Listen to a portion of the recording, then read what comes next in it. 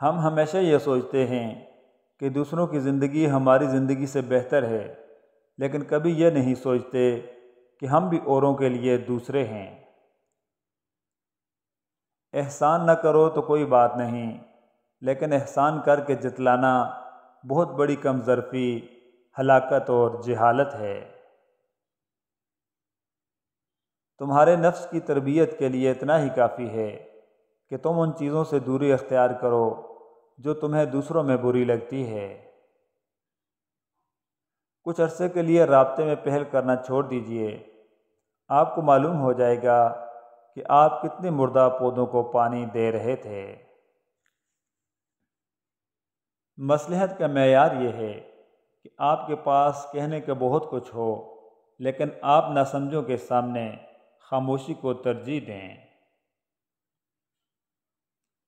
अगर कोई शख्स आपको इज़्ज़त देता है तो इसका मतलब ये नहीं कि आप बहुत अजीम इंसान हैं, बल्कि ये कि वो शख्स खुद एक आला ज़र्फ इंसान है।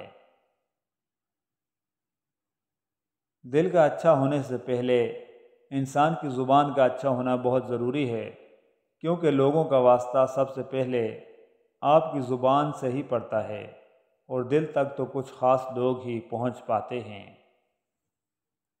इंसान ज़िंदगी में कुछ दर्द अपनी आँखों में और कुछ दर्द अपनी मुस्कुराहट में छुपा लेता है। हर चीज़ माँ के सिखाने की नहीं होती। कुछ बातें, कुछ एतमाद बाप भी बेटियों में लाता है। इसलिए बेटों को, बेटियों को अपनी हिफाजत करना ज़रूर सिखाना चाहिए। मैं समझती हूँ कि वो शख्स कभी अपनी ज़ात से मोहब्बत नहीं कर सकता। जिसको दुनिया ने ठुकरा दिया हो, जिसको अपनों ने छोड़ दिया हो, ऐसा इंसान अजियत पसंद हो जाता है, फिर उसे ख़ुद में कोई अच्छाई नज़र नहीं आती।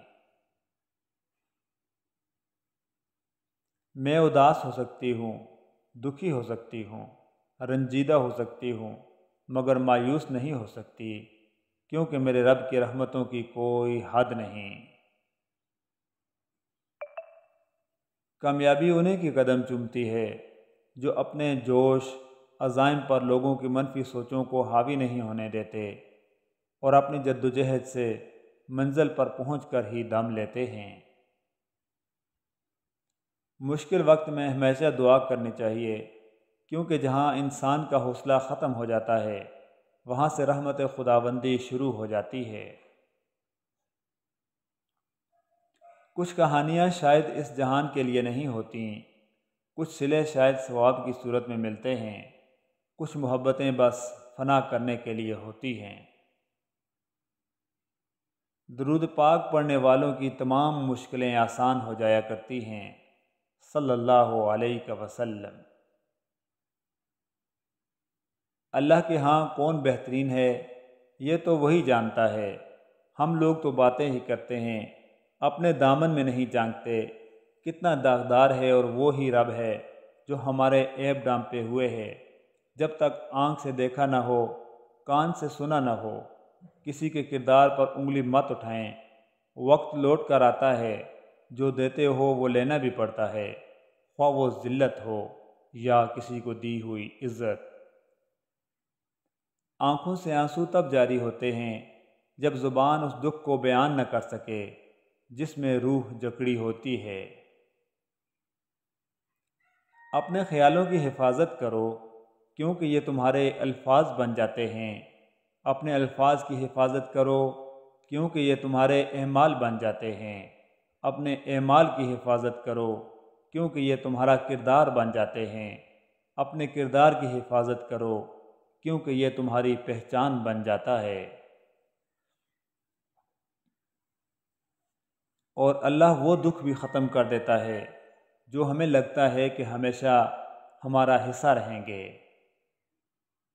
तोबा की उम्मीद पर हो चुके बहुत गुनाह यारब मोहलत तो मिल रही है, तोफीक भी अता कर। अच्छा इंसान तो वो है जो किसी का दिया हुआ गम तो बुला दे, मगर किसी की दी हुई मोहब्बत कभी ना बुला सके। तू नफ्स की तमन्ना पूरी करने में मसरूफ़ है और वो तुझे बर्बाद करने में। तूफ़ानों की ताकत सब किश्तियों को नहीं डबो सकती। तुम खुद को जहमत न दिया करो। कभी जो मुझसे उकता जाओ, कोई तकलीफ़ मेरी वजह से न सहना। कोई भी लिहाज रखे बिना मुझे जाने के लिए कह देना। और फिर तुम देखना, मैं मौत से भी ज़्यादा पोशीदा हो जाऊँगा।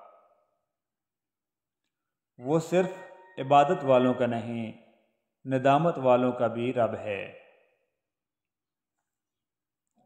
कभी कभी इंसान को अपने एहसास और जज्बात को कुचल कर दूसरों की ख्वाहिश और जज्बात का एहतराम करना पड़ता है, जहाँ अपने एहसास से बढ़कर दूसरों के एहसास का एहतराम किया जाए, वही इंसानियत की सबसे बड़ी महराज है। कम ज़र्फ लोगों की निशानी यह है कि जब उनके पास औकात से ज़्यादा पैसा आ जाए तो वो ख़ुद को आला और दूसरों को हकीर जानने लगते हैं। और दरअसल, यही गरीबी और कमज़रफ़ी है। हमें दिल तोड़ने नहीं आते, क्योंकि परवाह करनी हमने अपनी माँ से सीखा है। मोहब्बतें तो ज़िंदगी में मान बना कर रखती हैं, उतारे तो बोझ जाते हैं, ज़िंदगी से भी और दिल से भी। इंसान का जवाल तब शुरू होता है जब वो अपने मुखलस लोगों से मुनाफ़त शुरू कर देता है। धूप में बाप और चूल्हे पर माँ जलती है, तब कहीं जाकर औलाद पलती है। दोनों सूरतें यकीन की हैं, कोई अल्लाह पाक के लिए सब छोड़ देता है और कोई अल्लाह पाक पर ही सब कुछ छोड़ देता है। किसी को तो रास आएँगे हम भी, कोई तो सादगी पसंद होगा। कितना आर्जी है ये जहाँ, कितनी मुख्तसर हैं ये साँसें। वो जो दिल को कबूल होते हैं, उनके पत्थर भी फूल होते हैं।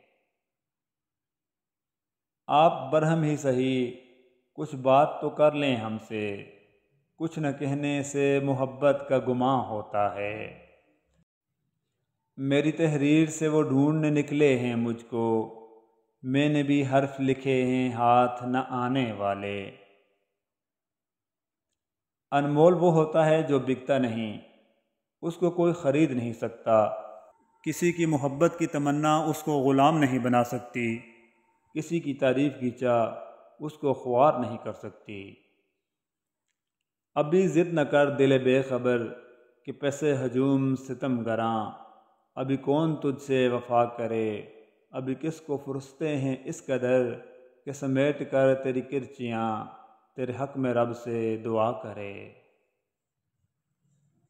बदगुमानी में इतनी ताकत है कि ये इंसान का जहनी सुकून बर्बाद करने के साथ साथ एक दूसरे से जुड़े ताल्लक को मिनटों में हज़म कर जाती है।